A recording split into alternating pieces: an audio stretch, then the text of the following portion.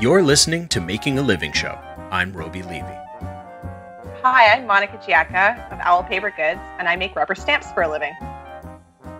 Monika Giacca is a Toronto based artist and the owner and designer behind Owl Paper Goods.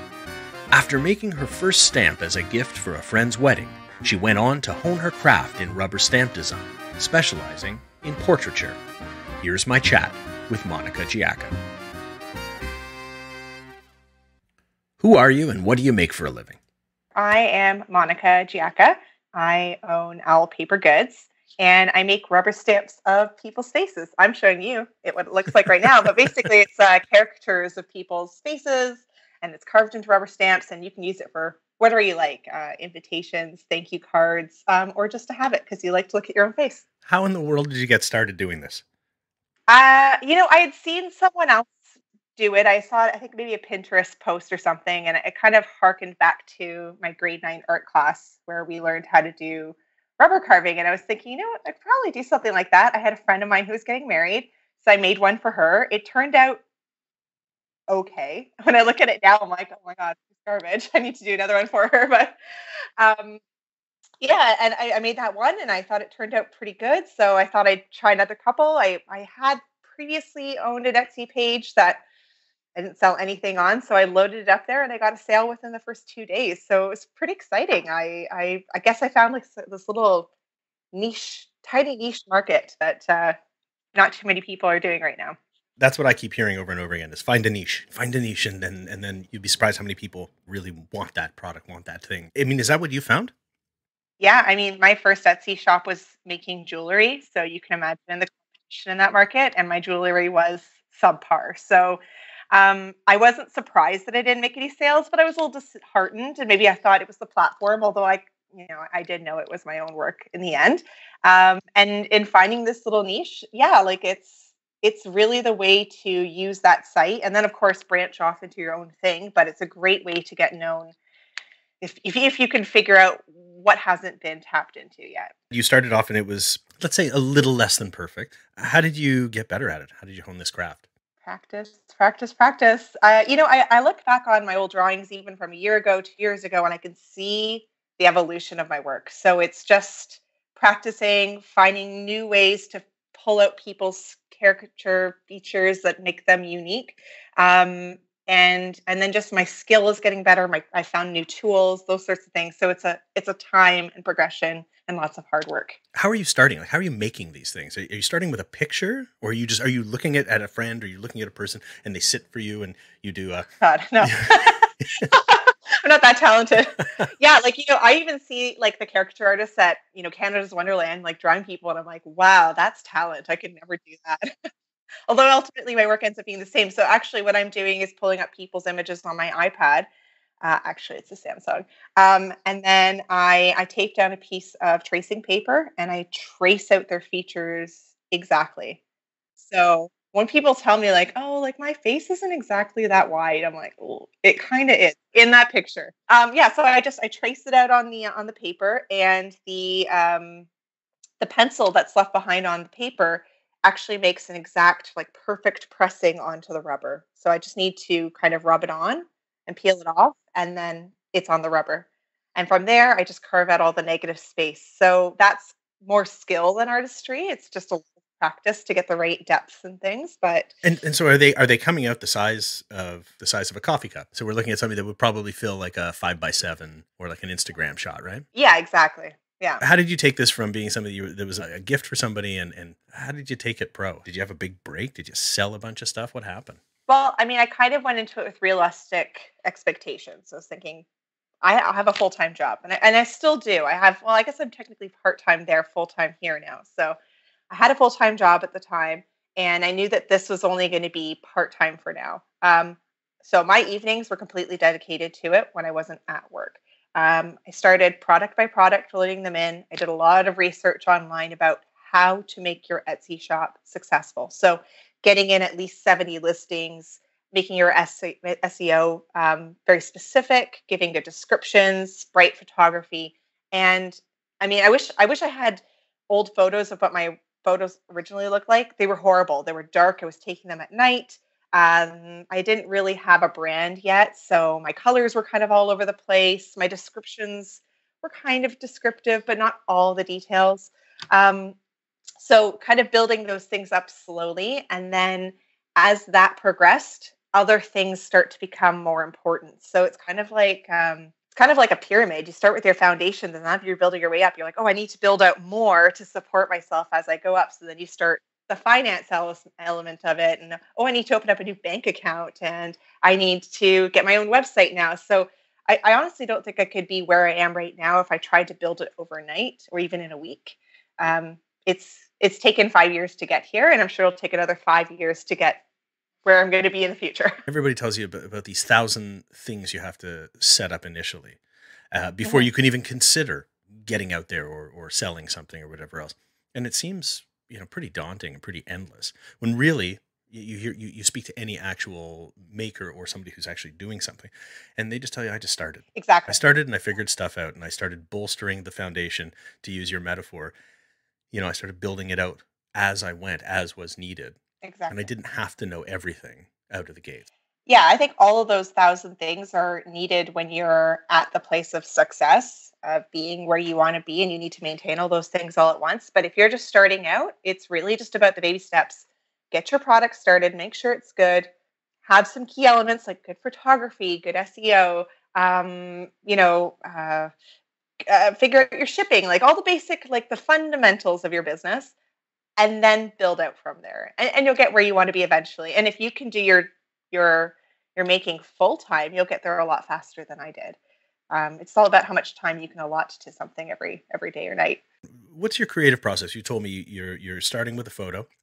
Mm-hmm. On, on a on a tablet is there something about i think you said it was a samsung but like is there something about that one that makes it particularly good for this it is a samsung tab s i don't know four or five I, I can't remember the the generation give us a call sponsors anyway go on yeah Uh, what it what I like about it is that it has the pen. So if you have an Apple tablet that has the Apple Pen, like that's actually really great. And in fact, perhaps I wish I'd gone that route because you can use Procreate on there, and this doesn't have a Procreate equivalent. But um, the pen has allowed me to do a lot of digital artwork. So instead of carving a stamp, I could do an illustration for somebody.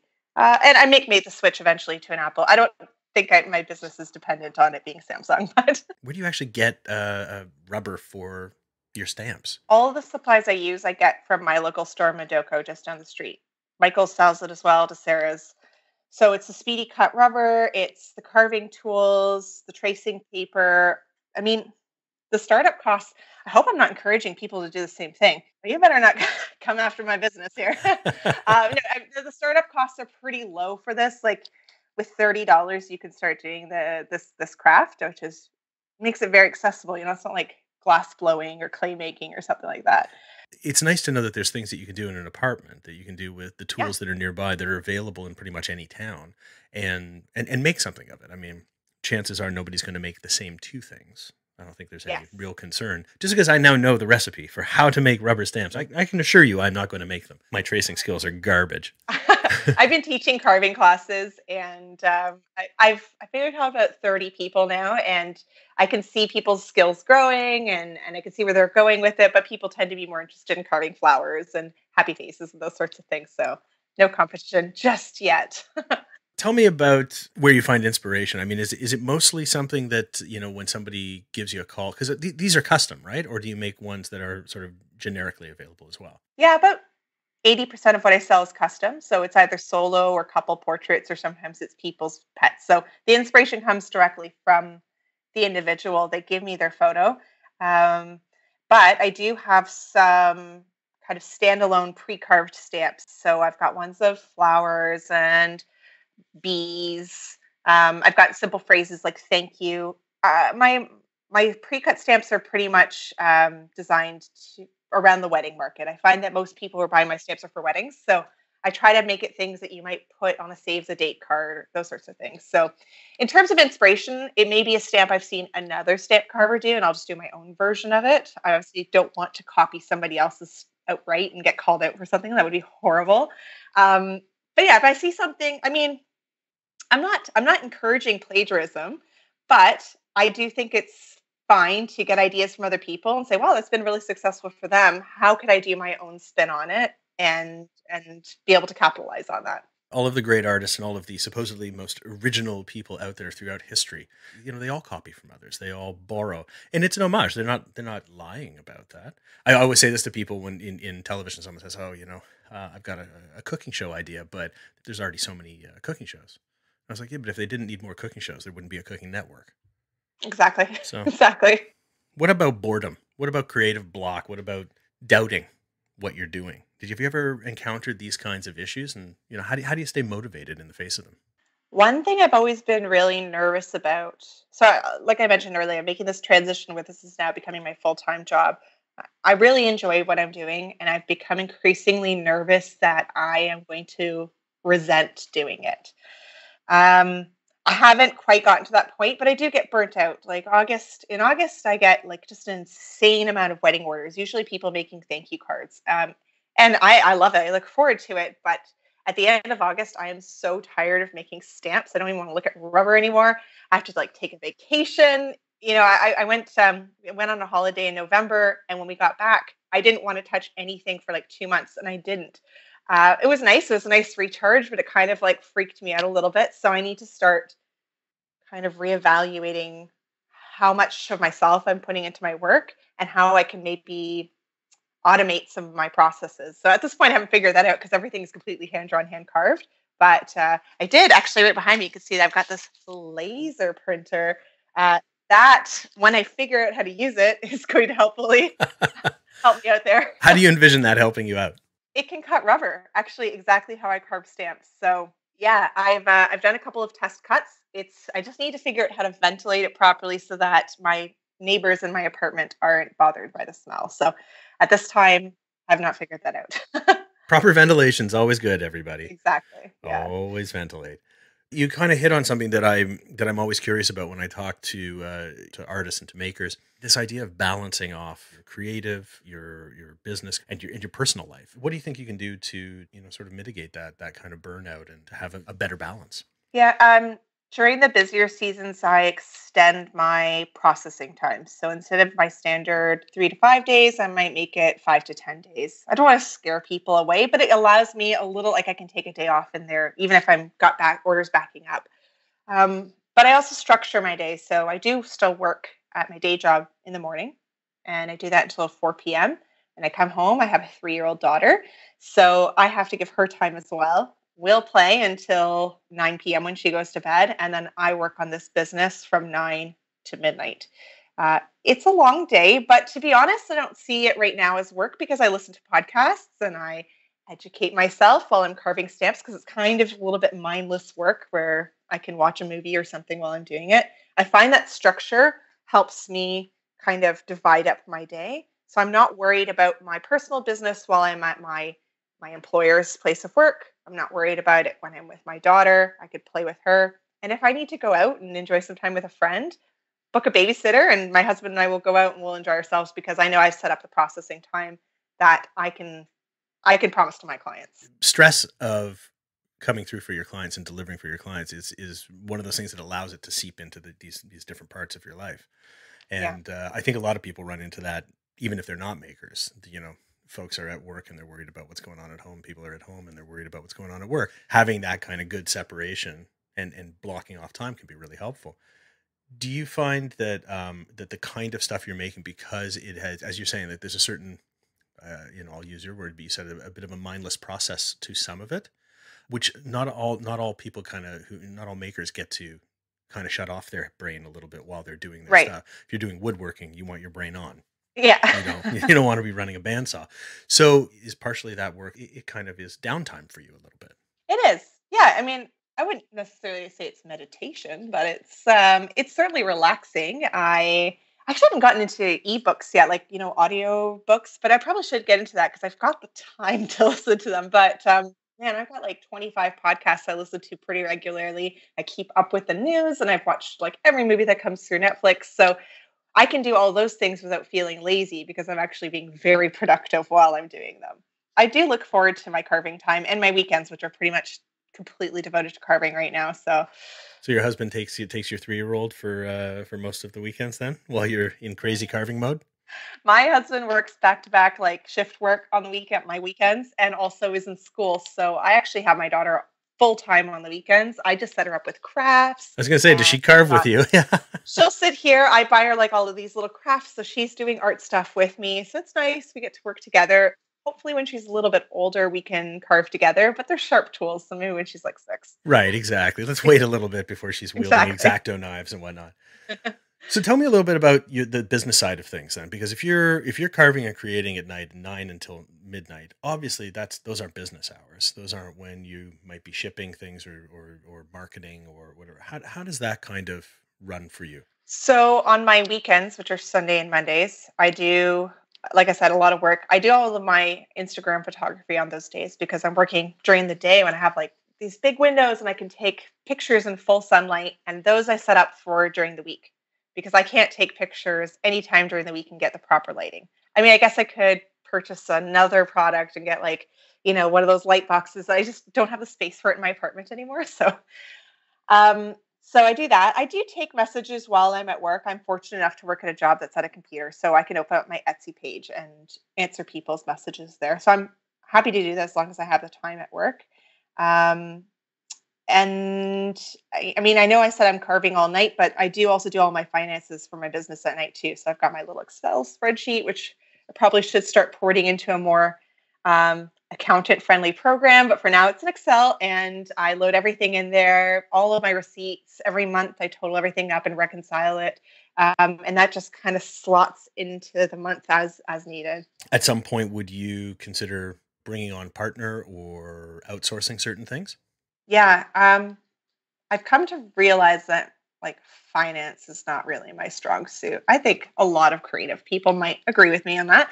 Um, so I would like to get a bookkeeper at some point to kind of just take over that part. I also find like taxes to be very intimidating and always a struggle. I have a friend who uh, helped me out with my taxes last year and did that whole business part of it for me. So I'm hoping this year I can remember how to do it myself. But essentially, yes, I do want to hire someone for that. I have, I was kind of hoping in teaching um, rubber carving that I might be able to find somebody who could carve with me, but I'm just realizing that I've, you know, I've chalked up like 5,000 hours doing this and I'm just way more advanced. I don't mean that in a bad way, but I just, I can't have a new person coming in and carving my stamps. So that's what the machine is for. That will be my next employee Nice. and and then I have I have looked into hiring um someone to come and do some marketing and advertising for me. So uh, I'll probably be doing that in the spring for like the spring wedding season.